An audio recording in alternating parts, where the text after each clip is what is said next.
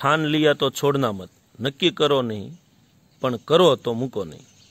એક વાક્ય છે, એ જે આપણે જાણીએ છીએ કે સારું છે તો તે આપણે કરતા નથી અને કદાચ શરૂઆત કરી તો લાંબા સમય સુધી પ્રયત્ન ચાલુ રાખી શકતા નથી. ઘણીવાર વ્યક્તિ કે વિદ્યાર્થીને જે સારું લાગે છે તેને અપનાવી તો લે છે, પરંતુ લાંબા સમય સુધી નિભાવી શકતા નથી. ઘણીવાર વિદ્યાર્થી ગુરુજનોના શિખામણ આપે તો બાળક ભાવુક થઈને નક્કી તો કરી લેશે કે આજથી હવે આપણે આ જ પ્રમાણે વર્તન કરવું છે. બે ત્રણ દિવસ ટાઈમસર જાગી જાય માતા પિતાને પગે લાગે, વાંચે, યોગ્ય ટાઈમે રમવા જાય, પછી ધીમે ધીમે બહાના શરૂ થાય.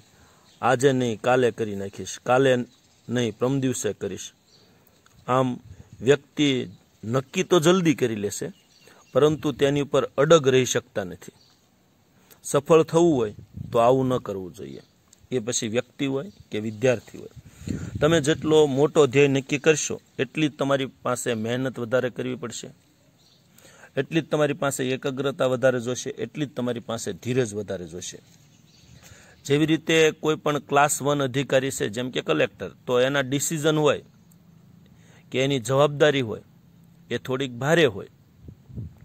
બરાબર છે. તો જેમ તમે ગોલ ઊંચો કરશો, એમ તમારા, તમારી પાસે ધીરજ, તમારી પાસે એકાગ્રતા, તમારા ડિસિઝનો એ સારા જોઈશે તો જેટલો તમે ગોલ ઊંચો નક્કી કરશો, એટલી તમારી પાસે એકાગ્રતા છે એ વધારે જોઈશે ઘણી વખત, ઘણી વ્યક્તિઓ કોઈ બિઝનેસને જોઈ લે. ઘણી વખત આવું આપણે વ્યવહારમાં થતું જ હોય છે. ઘણી વ્યક્તિ છે કોઈ બિઝનેસ જોઈ લે, કે એની વાતો સાંભળી લે, કે મોબાઈલમાંથી જોઈ લે, તો ઉત્સાહી થઈ જાય કે મારે શેર બજારમાં જવું છે ને કાપડ ઉદ્યોગમાં જવું છે ને હીરા ઉદ્યોગમાં જવું છે ને માર્કેટિંગમાં જવું ને ઓર્ગેનિક ખેતી તરફ જવું છે. ઘણી વખત આપણે ટીવી ને મોબાઈલ ને આજુબાજુના વ્યક્તિઓ કે એનાથી પ્રભાવિત થઈને આવું નક્કી તો કરી લઈએ છે કે મારે આ બાજુ જવું છે.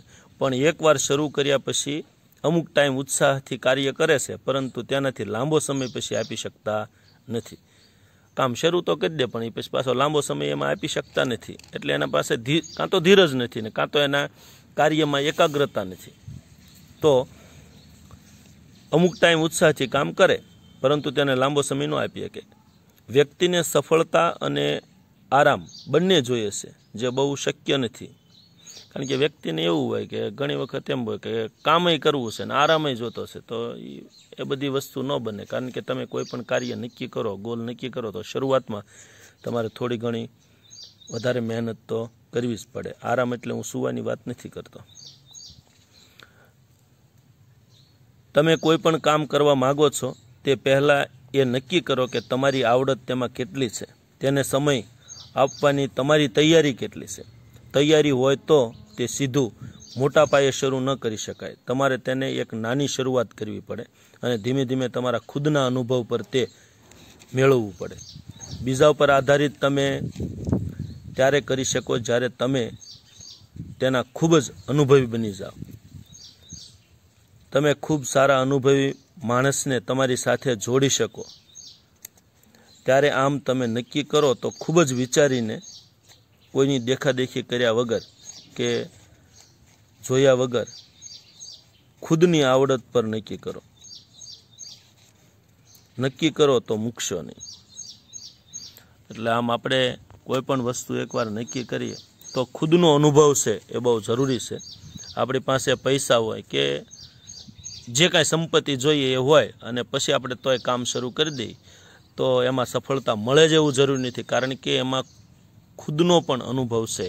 એ બહુ જરૂરી છે, કારણ કે જ્યારે કાંઈ એની અંદર ડિસિઝનો લેવાના થાય, તો તમે લઈ શકો. એમ વિદ્યાર્થીએ પણ એકવાર મનમાં નક્કી કર્યું કે ભાઈ મારે આ વસ્તુ બનવી છે, કે મારે આ વસ્તુને પામવી છે, તો એના માટે વિદ્યાર્થીએ એ ધ્યેયને એક ફેર મગજમાં નક્કી કર્યા પછી એની પાછળ મહેનત કરવા લાગુ પડે. પછી એના માટે એક વર્ષમાં થઈ શકે, બે વર્ષમાં થઈ શકે, પાંચ વર્ષે લાગે. પણ એ વ્યક્તિએ એની પાછળ લાગી રહેવું પડે.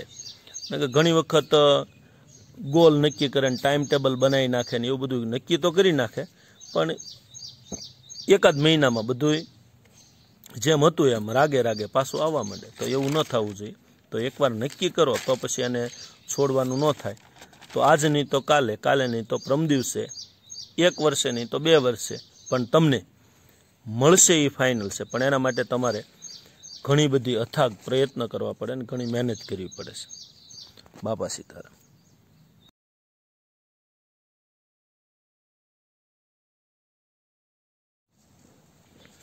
થાન લિયા તો છોડના મત. નક્કી કરો નહીં, પણ કરો તો મૂકો નહીં.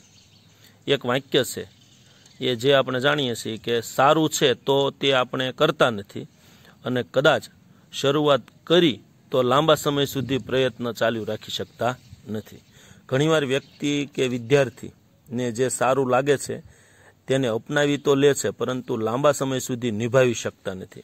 ઘણીવાર વિદ્યાર્થી ગુરુજનોના શિખામણ આપે તો બાળક ભાવુક થઈને નક્કી તો કરી લેશે કે આજથી હવે આપણે આ જ પ્રમાણે